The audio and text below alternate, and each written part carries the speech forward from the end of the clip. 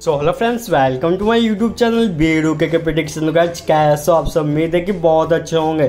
तो दोस्तों, आज हम बात करने वाले पाकिस्तान सुपर लीग 2023 के eliminator one T twenty match के बारे में। दोस्तों, मैच होने वाला है इस्लामाबाद यूनाइटेड और पेशावर जालमी के बीच में। दोस्तों, अगर मैच की पूरी अपडेट है तो वीडियो को लास्ट तक बने रहें और आगे बढ़ने से पहले, अगर आप हमारे चैनल पर नए तो हमारे चैनल को लाइक एंड सब्सक्राइब करते चले, ताकि हर वीडियो की जानकारी आपको पूरी मिलती रहे। तो दोस्तों, आगे बढ़ने से पहले हमारे स्क्रीन पर हमारा व्हाट्सअप नंबर दिया हुआ है। आप हमें कांटेक्ट कर सकते हैं, जिससे आपको टॉस मैच सेशन की जानकारी आपको पूरी दी जाएगी। और हमारे डिस्क्रिप्शन बॉक्स में भी हमारा नंबर मेंशन किया हुआ है। आगे बढ़ते हैं, चलते हैं मैच की और आज का मैच 16 मार्च को खेला जाएगा। इंडिया टाइम के अकॉर्डिंग शाम के सात बज के तीस मिनट पर यह मैच स्टार्ट होगी।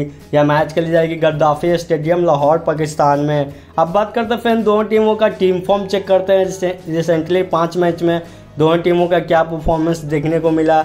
तो वहीं पहली टीम इस्लामाबाद यूनाइटेड की बात करें तो जहाँ पाँच मैच में से तीन मैच जीत के आ रही है तो वहीं दो मैच हार के आ रही है। वही दूसरी टीम अगर पेशावर जालमी की बात करें तो जहाँ पाँच मैच में से तीन मैच जीत के आ रही है तो दो मैच हार के आ रही है। अगर टीम फॉर्म के अकॉर्डिंग बात करें तो यहाँ पे लगभग दोनों का इक्वली परफॉर्मेंस देखने को मिल रहा है। बात करें दोनों टीमों का हेड टू हेड चेक करें लास्ट टेन मैचेज में तो जहाँ पे इस्लामाबाद यूनाइटेड चार मैच जीत के आ रही है तो वहीं पेशावर जालमी छः मैच जीत के आ रही है।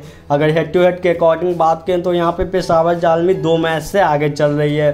अब आगे बढ़ते हैं, फिर ज़्यादा देर ना करते हुए दोनों टीमों का टीम कंपेरिजन करते हैं। लास्ट तीन मैचेज में क्या क्या एक्सपेक्टेशन देखने को मिल सकते हैं। तो पहली कंपेरिजन विनिंग परसेंटेज की बात करें तो जहाँ पे इस्लामाबाद यूनाइटेड का 60 परसेंट देखने को मिल रहा है तो वहीं पेशावर जालमी का 50 परसेंट देखने को मिल रहा है। एवरेज स्कोर की बात करें तो इस्लामाबाद यूनाइटेड का एक सौ पैंसठ है तो वहीं पेशावर जालमी का एक सौ तिरानवे है। हाईएस्ट स्कोर की बात करें तो इस्लामाबाद यूनाइटेड का 220 है तो वहीं पेशावर जालमी का 242 है लोएस्ट स्कोर की बात करें तो इस्लामाबाद यूनाइटेड का 90 है तो वहीं पेशावर जालमी का एक सौ चौवन है। तो ये रहे दो टीमों का टीम कंपेरिजन अगर इसके अकॉर्डिंग बात करें तो यहाँ पे पेशावर जालमी की थोड़ी सी परफॉर्मेंस अच्छी देखने को मिल रही है।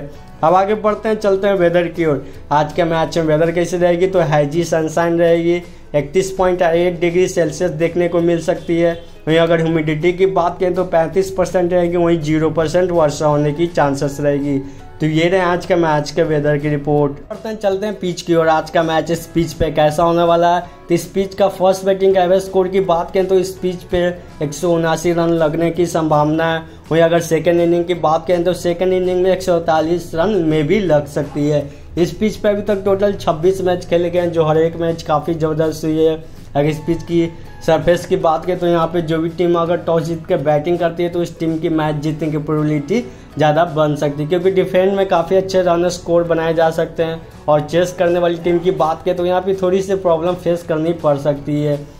चेस भी हो सकती है इस पिच पे बट जो भी टीम अगर चेस करी है वो टीम स्ट्रांग होनी चाहिए।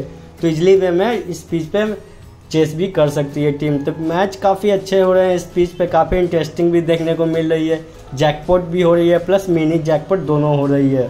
पिच पे एलिमिनेटर वन मैच खेला जाएगा टी ट्वेंटी का, जो काफ़ी इंटरेस्टिंग हो सकती है। अब आगे बात करते हैं दोनों टीमों का टीम परफॉर्मेंस चेक करते हैं। तो पहली टीम इस्लामाबाद यूनाइटेड की बात करें तो नो डाउट काफ़ी ज़बरदस्त टीम है। बैटिंग लाइनअप और बॉलिंग लाइनअप देखें तो दोनों का कॉम्बिनेशन ज़बरदस्त देखने को मिल सकता है। अगर स्टार्टअप की बात करें तो कुछ खास परफॉर्मेंस देखने को नहीं मिल रही थी बट बीच में कुछ मैच काफ़ी अच्छा देखने को मिला, काफ़ी अच्छा फॉर्म में आ चुकी है।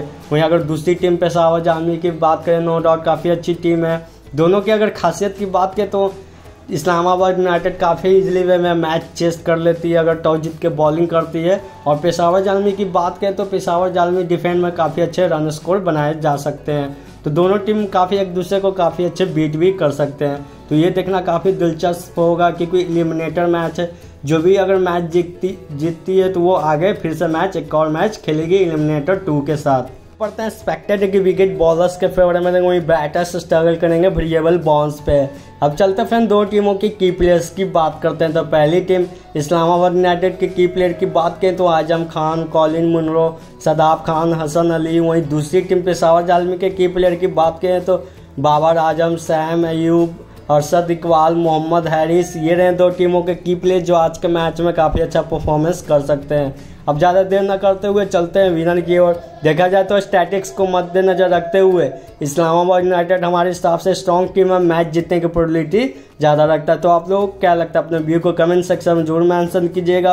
और जाने से पहले दोस्तों लाइक से और सब्सक्राइब करना ना भूलें। बने रहिए हमारे चैनल के साथ। ओके क्या मिलते हैं नेक्स्ट वीडियो में।